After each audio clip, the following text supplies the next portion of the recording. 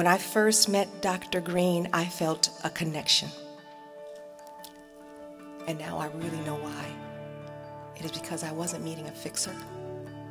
I wasn't even meeting a woman with a servant heart. I was meeting a leader.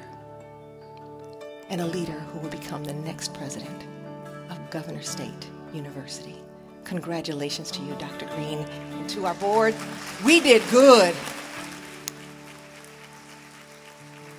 As you face the rising sun of your new day begun, you have proven that our strengths are fearsome, our vision is certain, our investment is sound, our persistence is relentless, our service is genuine, our voices are unmistakable, our hearts are uncompromising, and our faith is unshakable.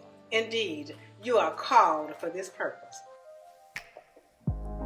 By virtue of the authority of the Board of Trustees and with the confidence of the full board, we place the official medallion around your neck as an outward symbol of your authority and responsibility as the sixth president of Governors State University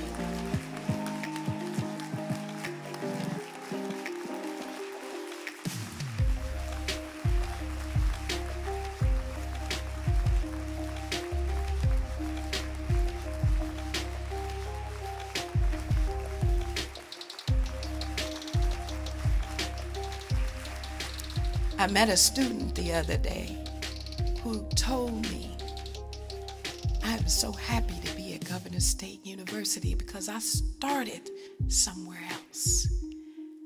And that place wasn't right for me. But here, I feel at home. Here, I feel I can thrive. Here, I feel like I belong. Little did she know that's exactly what I needed to hear, and that I feel the same way too. How much we can accomplish together depends on how much we can give to one another, to our students, and to our beloved Governors State University.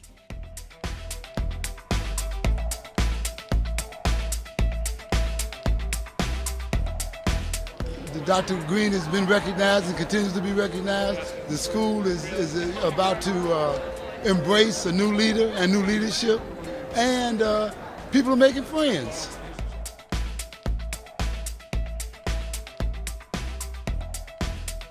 This is a wonderful event to celebrate our new president who started her position last July in 2020 in the middle of the pandemic.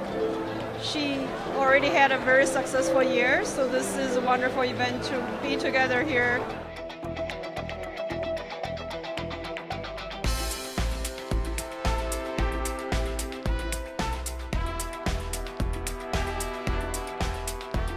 I think it was just a culmination of everything that has happened over the week, and it epitomized what her vision is, um, and it just it brought us together.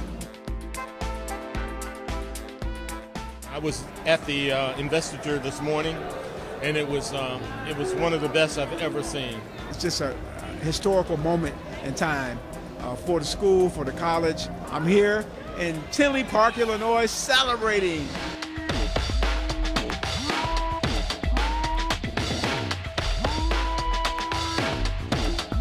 I am just overjoyed with the amount of support and the amount of involvement and the amount of uh, contributions from every sector of the community. That's what it takes for GSU to be successful.